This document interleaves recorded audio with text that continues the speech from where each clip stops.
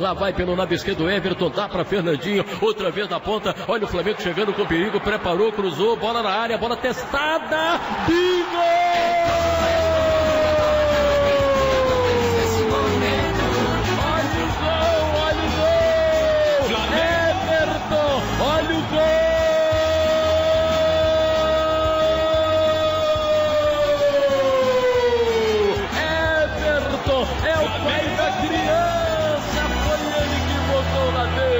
Cruzamento do Jorge, Everton triscou, a bola ainda bateu no jogador do América e foi pro fundo no gol. Boa, boa, boa, Everton. Aos 33 marca o primeiro gol do Flamengo. Detona Everton.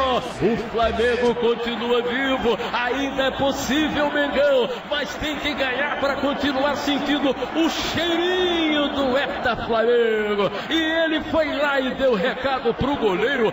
Tem que respeitar. E agora tá lá. Flamengo